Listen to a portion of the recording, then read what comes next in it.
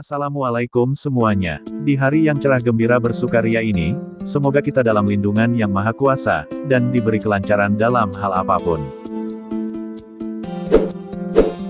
Indonesia sebagai negara yang kaya akan keanekaragaman, memiliki berbagai warisan budaya dan alam yang harus dilestarikan. Bahkan sebagian dari warisan yang dimilikinya di antaranya saat ini sulit untuk ditemukan. Oleh sebab itulah pemerintah sedang mengupayakan sejumlah warisan budaya tanah air untuk dikenalkan ke dunia internasional. Inilah lima warisan budaya yang ada di Indonesia telah masuk dalam deretan warisan budaya yang sudah diakui secara internasional melalui UNESCO. Apa saja? Sebelum melanjutkan ke videonya jangan lupa subscribe dan nyalakan loncengnya. 1.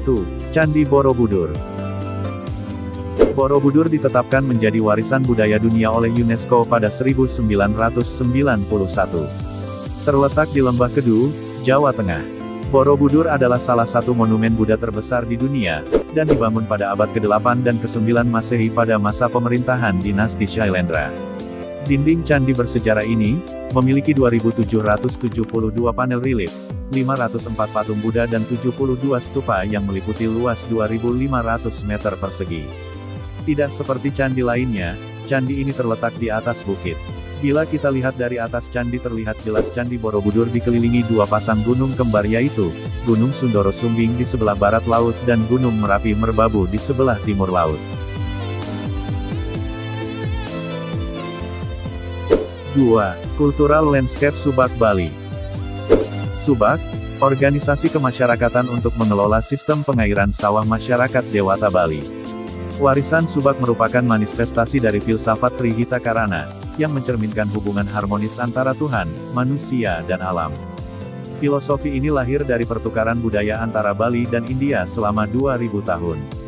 Lanskap budaya Bali terdiri dari lima sawah dan candi airnya yang meliputi 19.500 hektar, termasuk dalam kawasan tersebut adalah Subak Pakerisan dan Subak Catur Angga Batu Karu.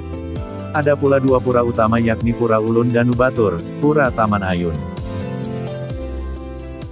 3. Warisan penambangan batu bara Ombilin di Sawah Lunto. Terdapat proses penambangan batu bara berkualitas tinggi di wilayah Sumatera. Warisan budaya ini memperlihatkan pertukaran budaya antara pengetahuan kearifan lingkungan lokal masyarakat Sumatera Barat dengan teknologi pertambangan bangsa Eropa.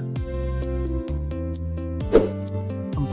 Candi Prambanan merupakan kompleks candi terbesar yang didedikasikan untuk Siwa di Indonesia. Prambanan adalah candi peninggalan khas agama Hindu di Indonesia, menggambarkan kisah Ramayana dalam kisah cerita dan dedikasi untuk tiga dewa Hindu, Siva, Wisnu, dan Brahma. Candi Siwa sebagai candi utama memiliki ketinggian mencapai 47 meter menjulang di tengah kompleks gugusan candi-candi yang lebih kecil. Prambanan disebut sebagai salah satu candi termegah di Asia Tenggara. Prambanan terdapat arca bernama Roro Jonggrang, salah satu legenda yang sangat khas. 5. Manusia Purba Sangiran Berlokasi di dua wilayah kabupaten yaitu Sragen dan Karanganyar. Salah satu warisan budaya utama untuk mengenalkan evolusi manusia. Menyimpan fosil manusia purba, alat-alat dari bebatuan purba, serta lapisan tanah purba. Sangiran tidak hanya dikembangkan untuk sektor pariwisata, namun menjadi tempat penelitian ilmu arkeologi, geologi, paleontologi yang sangat potensial. Jumlah koleksinya mencapai puluhan ribu.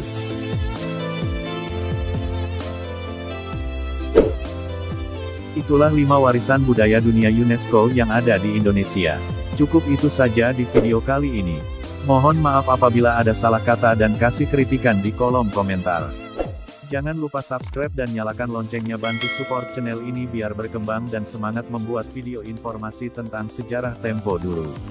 Terima kasih dan sampai jumpa untuk di video berikutnya.